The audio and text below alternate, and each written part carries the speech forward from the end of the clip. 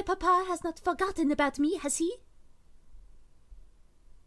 Mm, Dame Caterline de Meow, I presume. Oh, you've arrived. The fantastic lawyer, Monsieur Falcon, and his petit assistant, Sparrowson. Oh, my lady is knowledgeable. Don't. Just don't talk like that, Sparrowson. Oh, I'm very sorry. Uh, my papa told me that he would only hire the best lawyers in town. Mm, well, I'm flattered. But they weren't available on such short notice, so he hired the first people in the address directory. Oh. You see, Falcon, I told you listing under aviary attorney would pay off. Well, let's get down to business. Dame Caterline, could you fill us in on some details? Your father's letter was a little brief. I can do my best. What is it you want to know? What happened on the night of the murder? Who was there that evening? Or do you see anything suspicious? Um. What happened on the night of the murder? What exactly happened on the night of the murder? Oh, let me think. It was Friday evening. Me and my papa had arrived at Chateau Crenier, the home of the great Baron Roger. My papa spent all evening talking with Monsieur Grenouille and the Baron about, you know, business stuff. Business stuff? Well, the three of them own a railway company together. So all through dinner they were talking about company shares and investments, but I didn't really understand most of it. But after dinner, this man with a camera took our photograph. That was a lot more fun. I'm sorry, a man with a what took your what? A photograph. A camera. It is a very new gadget. A tiny bug sits in a box with a tiny paintbrush and paints a picture very fast. In ten minutes, poof, you have a perfect picture. Wow, technology is quite amazing!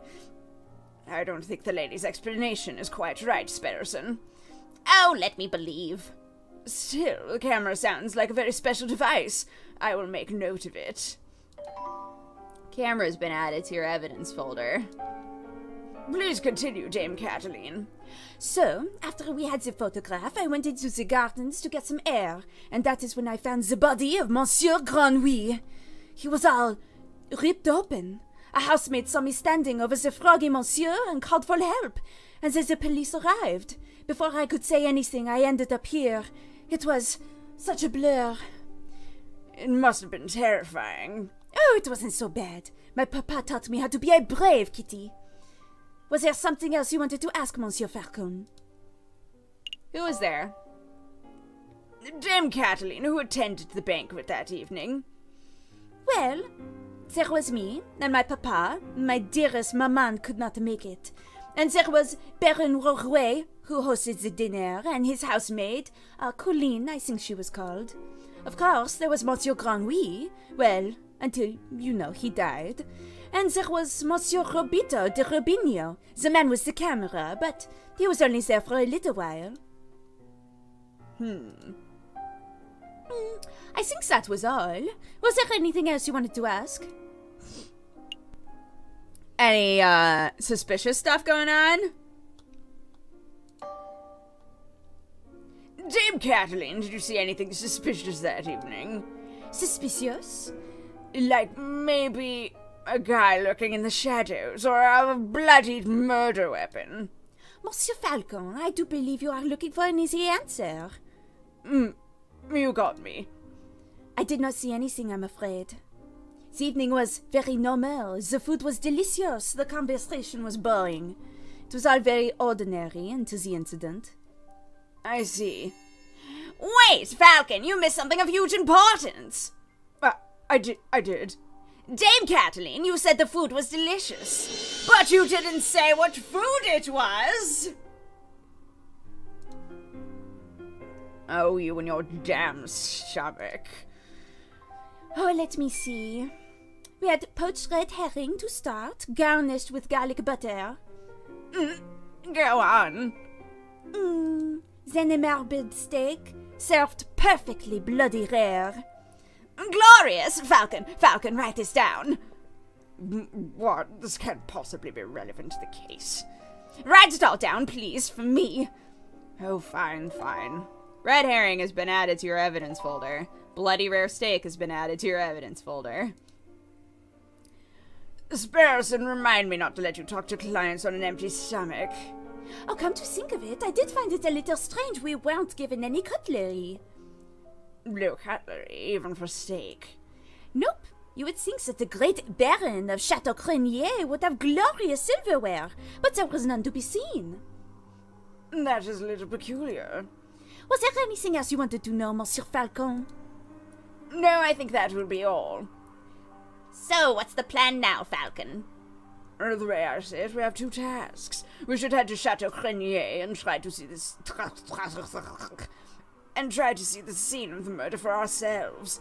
And we should try to track down the supposed photographer, Monsieur Rubito de Rubinio. Two days for two tasks. Well, that seems doable. But we should head back and get some rest. We have a lot of work ahead of us. Wait, Monsieur Falcon, before you go. You. You do believe me, don't you? I believe in justice. Dame Caterline, I believe that a fair trial can draw the truth from any situation. I believe in justice. That is uh, good to hear. You're not wrong, Falcon, but that's not what the lady needed to hear. You might want to work on being less of a. how to put it? fille de pute. If serving justice makes me a fils de pooty, then I'll wear that title proudly. Falcon and Sparrowson stand inside the marble porti- port- portico?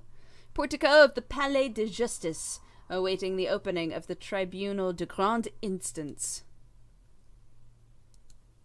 Are you nervous, Falcon? nope. Got justice on my side.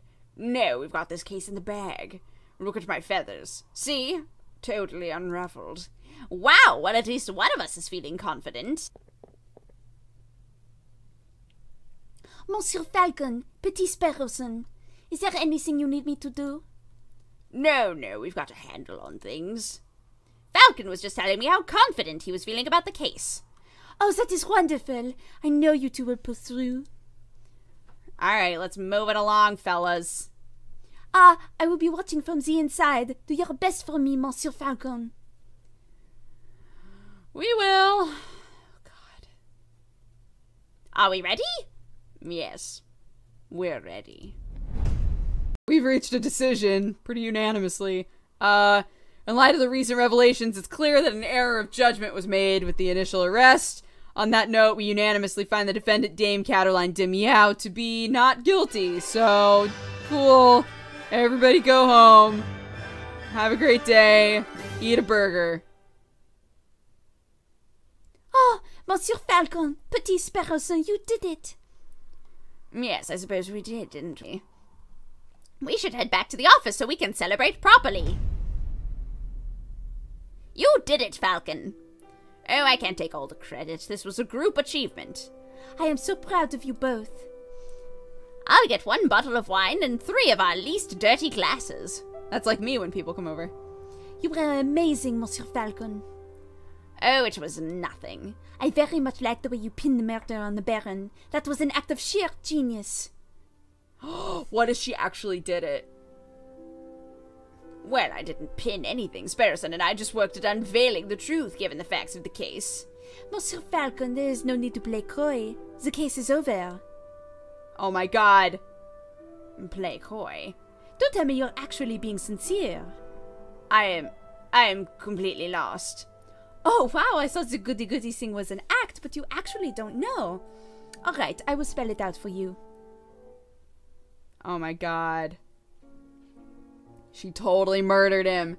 She totally murdered. I murdered Monsieur Grenouille! Fuck! Oh my god. I saw him in the garden. All drunk and vulnerable, and I seized my opportunity. It was nothing personal, just business, you understand. Business? To increase my papa's share in the train company, of course. My papa always says that the drunk old fox was the weakest link. Your confession doesn't make any sense at all. I found Baron Roguewale's cigar butt hidden in the garden. Oh, I put that there. I expected the police to find it, but I suppose that was putting too much faith in the brains of Paris' finest. But Falcon proved that Monsieur Rubinio's photograph was edited. It was edited. I wasn't in the picture because I was busy paying a visit to Monsieur Granby in the garden. he was scared of her claws? Or the claws of her dad? Oh, fuck. My papa knew I needed an alibi, so he ordered Monsieur Rubinio to paint me over Baron Roguewale and to add hands to the clock. But that lazy artist didn't manage to finish altering the photograph by trial day. It's a good thing that Monsieur Falcon was so imaginative, because that could have gone very badly. What is with the silence? You should both be proud. There aren't many lawyers in the whole of France who could have won a case like this, even for a bourgeois kitty like me. I think you should leave. Hm. Fine. So much for the celebration. Here's the payment for your services, straight from my papa's pocket. Well, adieu, Monsieur Falcon. Adieu, Petite Sparrowson. Oh. Falcon, what do we do now? Falcon?